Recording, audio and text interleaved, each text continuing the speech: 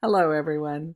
Welcome back. Today I'm going to read one of my favorite books from the Peace Library. I have a lot of favorites. This one's called Discovering Nature's Alphabet by Krystina Castella and Brian Boyl. Before I read the book, I want to go for a nature hunt in my yard, so hopefully you'll go for a nature hunt as well. And then afterwards, we can talk about all kinds of wonderful things that we can do with what we find in our front yard. So here's me going to my yard and then we'll read the book. Welcome to my front yard. I'm going to go on a nature hunt and see what I can find. And then I'll post a video later of reading one of my favorite books from the Peace Library, Nature's Alphabet. Maybe you can hear the wind or see it in the grass. I wonder if it's windy where you are right now.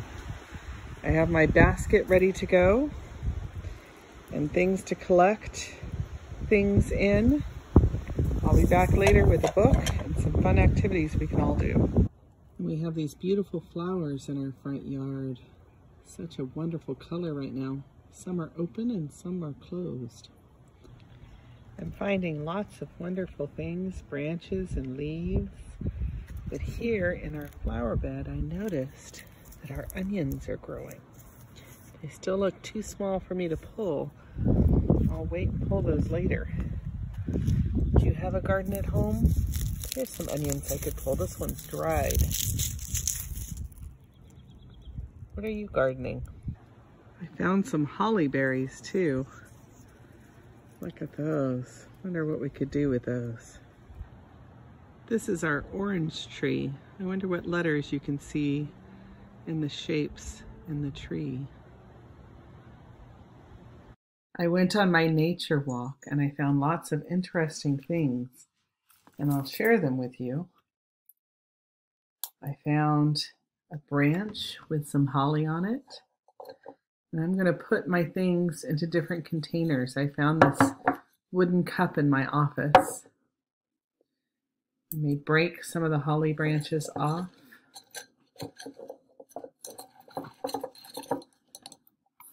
That one's getting tangled. I think what I want to do is take the little holly berries and keep those separate. So I'll put those in this little container. I wonder what you found in your yard. I'm hoping you'll post pictures and share with me.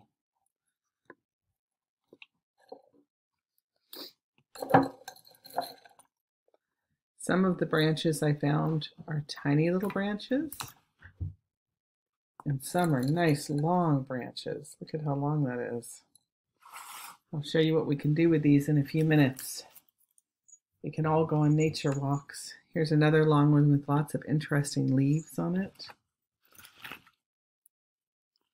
This branch I got because I could see a letter in it already. Do you see the same letter I'm seeing? I'll put it with my big branches. We may have a cat in front of our screen in a few minutes.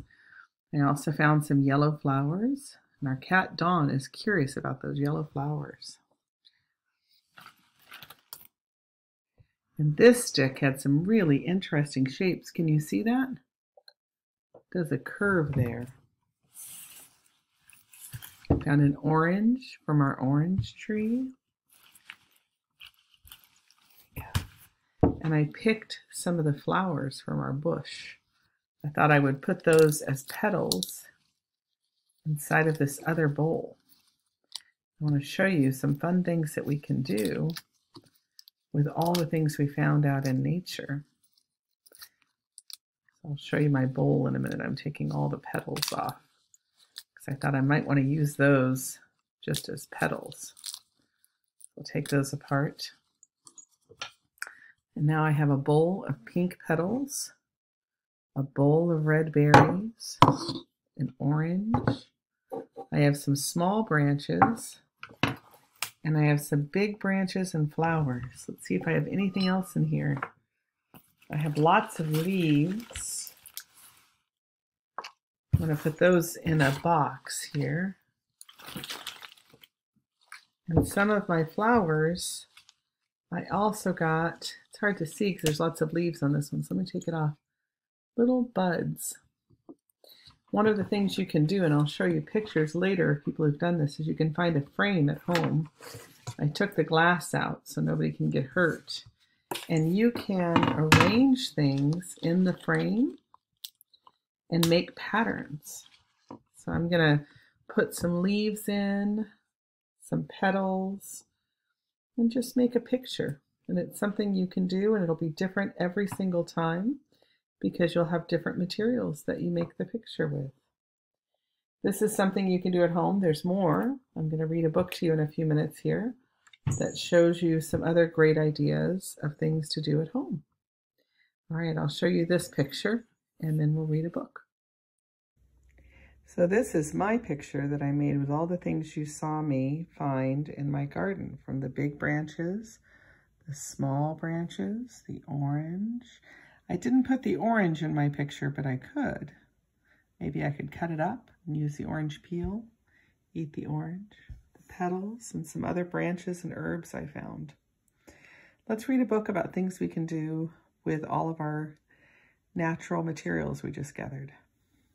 So here's our book for today, Discovering Nature's Alphabet by Christine Castella and Brian Boyl. And in this book, there's all kinds of pictures of things you find in nature. So we just did our own nature hunt. We'll see what we can do with all of those wonderful things later. And I'm hoping you'll share pictures with me. Discovering Nature's Alphabet by Krystina Castella and Brian Boyl, published by Heyday Books in Berkeley, California. Do you see the letters? What letters do you see there? What do you see that they may have made those letters out of? A, B, C. This looks like seashells to me. What does it look like to you?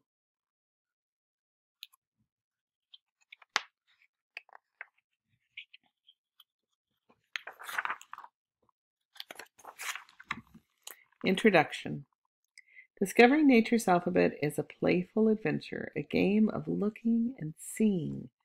Anyone can play, and this is a game you can play at home right now. Find letters by looking around the neighborhood, in a local park, at the beach, in a garden, at the zoo, on a hike, or while camping. At first, a forest beach a forest or a park might seem like a jungle of branches, leaves, flowers, and rocks. But letters will begin to emerge in nature's repetition, patterns, shapes, and brilliant colors. If you like, take a camera on your quest. Photographs capture your discoveries and allow you to bring them home to share with friends. I hope you'll post some for me too.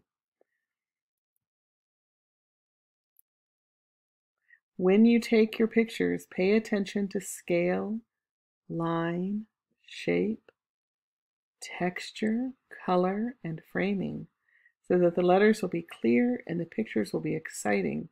Over time, you will require your own personal collection of all 26 letters. We hope this exploration game broadens your smile, curiosity, sensitivity, and perception of the world around you. Good luck in your adventures. So hopefully all of you will do this. You can do it in your own backyard right now. A. Nature holds a secret world filled with hidden letters. They found three different big A's in nature's alphabet. B. Do you see all the B's? Where do you see them? Do you see more than four bees? I see four. Maybe you see another one. See one here. Another one here. Another one here. When you trace the B, you go up and then around and around. Let me know if you see another one there. There's a lot of shapes. see. The best way to find them is to slow down and explore. This is a good time in our lives to slow down and explore. How many C's can you see? One, two, three, four, five, six, Seven. Seven C's on that page. What letter's next? D. One, two, three, four D's. This one looks like it's made by two parts. Looks like maybe that's a bud of a flower, I think. What do you think that is? And then a leaf or a petal curving around. It's interesting to wonder where they found these, what the bigger picture looks like. E. Look for the building blocks of letters in lines and branches. How many E's can you count there? One, two, three, four. This E has a very tiny middle spike. Do you see? That's so small compared to the other ones. That one's so long. I wonder which E you like the best. Oh, the page is sticky. There we go. F. There's only two F's that they show here, but I wonder if there's more. You see more F's. They're all big letters. F. When you do your hunt in nature, I wonder if you can find any small letters. G. Or in curves and curls. The G has the line there, the big G. G, line. Three. Four. Curls are harder to find sometimes. H. Look at that, they found two trees. It almost looks like they're hugging to make the H. Hugging starts with H. I. One, two, three, four eyes. Those are little eyes, aren't they? We've been looking at big letters, and we got to I, and now they're little letters. J. When we look at our activities, I'm going to show you some creative things to make J with. Look at this. Long J. K. Two Ks. One, two. A letter might hide until you stand in just the right place. Sometimes if you walk around, it looks different on the different sides of a tree or a branch. L. Down, across. One, two, three, four, five L's. wonder how many L's you'll find. M. Nature makes letters in minutes and days. Do you see this here with the icicle? That took days to form that M.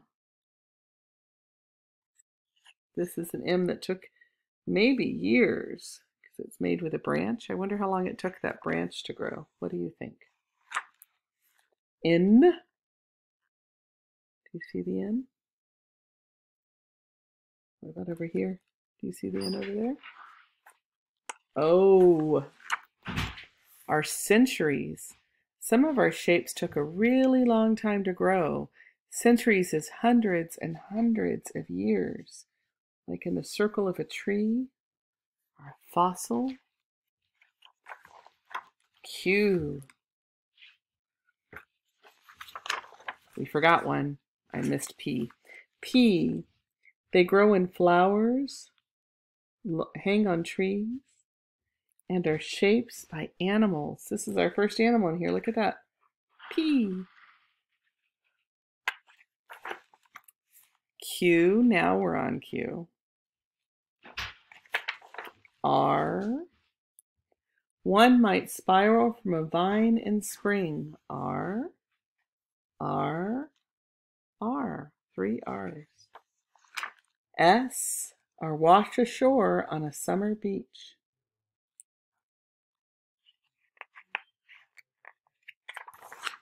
T, T. One, two, three, four T's. One might appear in autumn leaves. U or be etched in winter snow. Look at that. That lake made a U. V, that's the biggest letter we've seen yet, a mountain. Letters can be big or small. How many V's do you see?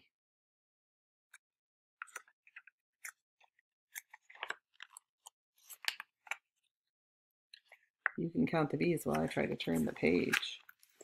They are everywhere from the desert to the ocean. W.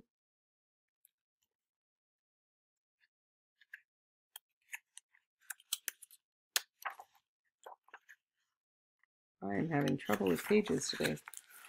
X. One, two, three, four X's. Nature's alphabet is all around us.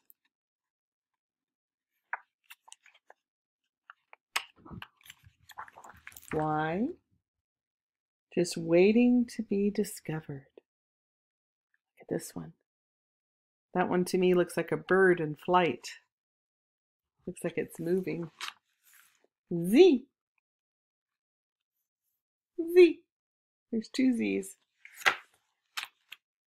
All right. So I want to share with you some things you can do with the alphabet. And I'll show you some of the things I did with mine.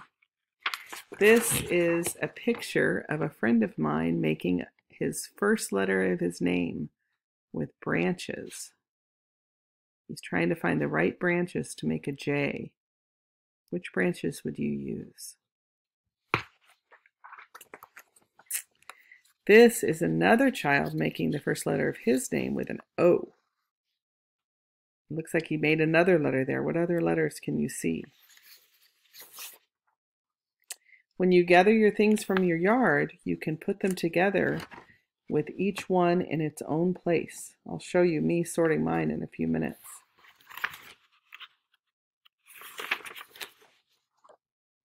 Maybe you'll get a frame like I do and make a picture. Maybe, hmm, turn that upside down.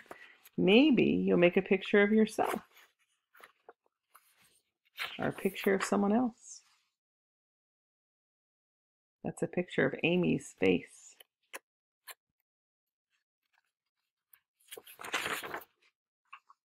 When you get your materials gathered, you can put some frames out and see what you can do with them.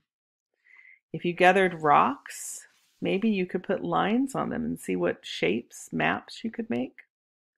Lots of different possibilities. Now let me show you what I did with mine.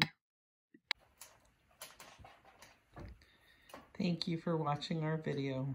Hopefully you have as much fun hunting in your garden as we did.